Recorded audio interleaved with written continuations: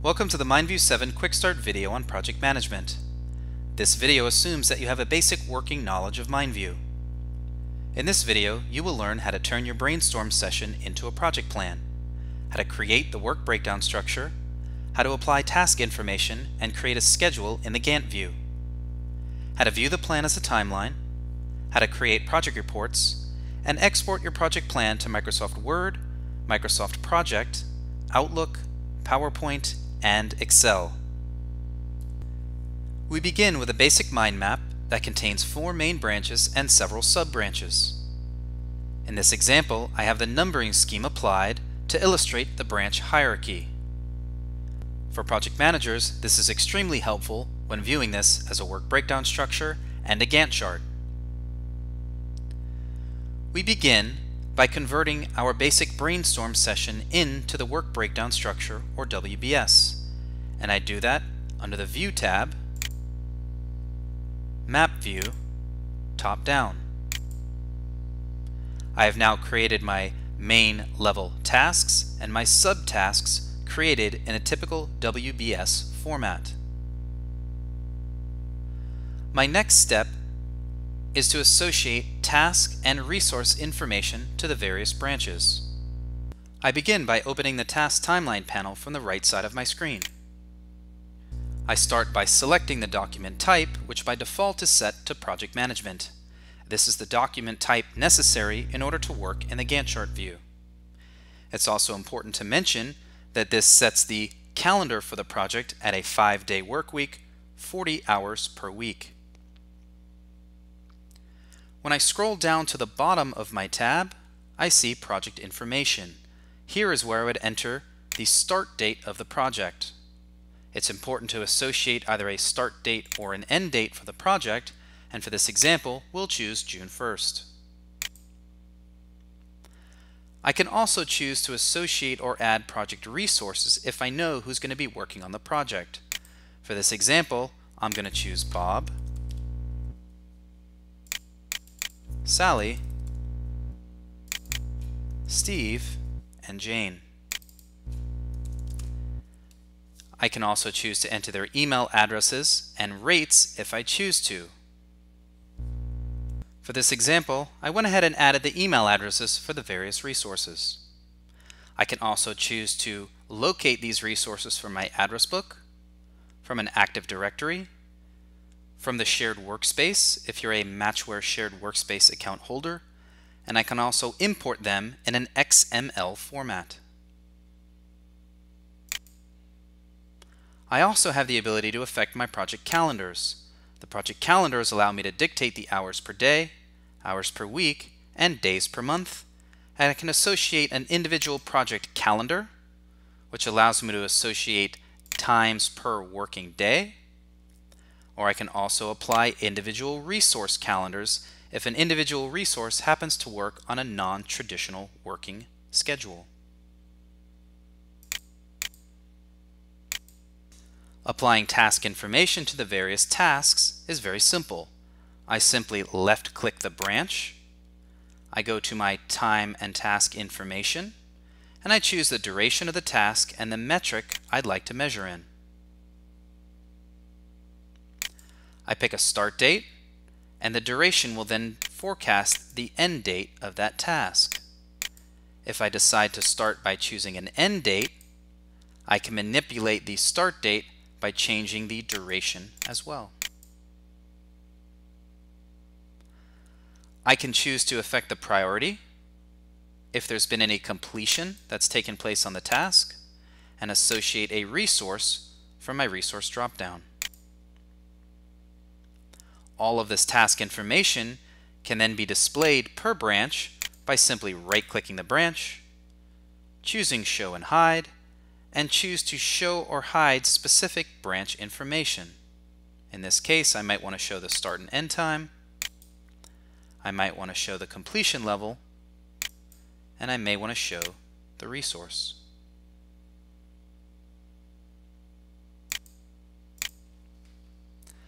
And I can continue to apply task information in that manner. In this case, Bob's going to start this task on the 15th. It's going to take him two days to complete, and I need to assign him that task. For this example, I've went ahead and added all the task information per branch. If I'd like to display this task information on all branches, from the View tab, I can choose Show Hide and determine the various data points that I'd like displayed per branch. As you can see, the individual sub-branch information has been created. The parent branches display the sub-branch information, and the root is summarizing the entire map. If I choose to start affecting the individual completion levels, which can be done directly on the branch, I can choose to show and display the roll-up feature, which makes MindView an extremely effective work breakdown structure tool and project management presentation tool. I also have the ability to work directly in the Gantt chart view. The Gantt chart view allows me to utilize standard project management features that are similar to tools like Microsoft Project. I have my individual task name, duration, start date, end date, and the corresponding columns listed. I can choose to show or hide my columns as needed. I can create custom columns and I can also easily arrange the column order by left clicking and dragging the columns to new locations. For this example, I'd also like to demonstrate the ability to expand or collapse the individual Gantt bars. I can rearrange my task information in the outline view. I have the ability to switch between manual and auto scheduled task modes. I can show the critical path and I can also easily start creating dependencies by left-clicking, dragging, and dropping the dependency lines and start linking these tasks together to create an effective project schedule. If I expand the listing and I look at the predecessors, I see that information begins to populate. I can also manually type the predecessor information in and I have the ability to also select an individual task, choose task information, and apply various task data points directly in the task information dialog. Here I can change the name and duration, if it's an estimate or accurate date, start and end dates, completions, priorities. I can make the task active or inactive, switch between my task modes, apply constraint types, apply task types for fixed units, fixed duration, and fixed work, and I can even associate effort-driven scheduling.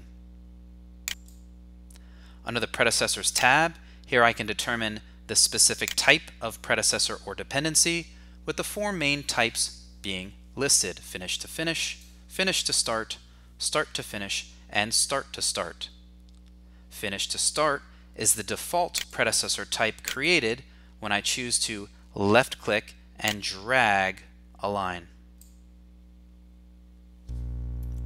Although the Gantt chart is an extremely effective project management tool, it can sometimes be difficult to display or communicate this information to my team. I can choose to display this in the timeline view, collapse the timeline outline, and then show the timeline in a larger scale.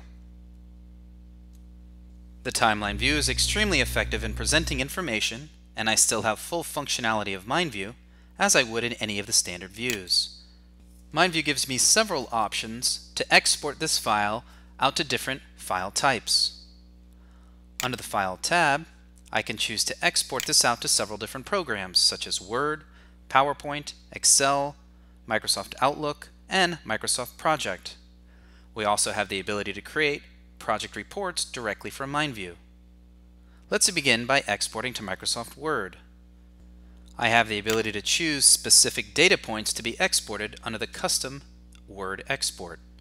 I choose my template.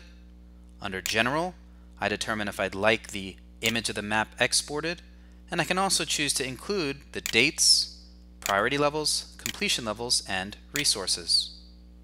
I'll simply hit export and save my file. If I then view my Microsoft Word export, I see my title, my individual main branches and sub-branches, which are my parent tasks and subtasks, and if I go to those specific sections, I see the individual groupings under the parent, the subtask information, as well as all corresponding task points. I can also choose to export this file to Microsoft PowerPoint.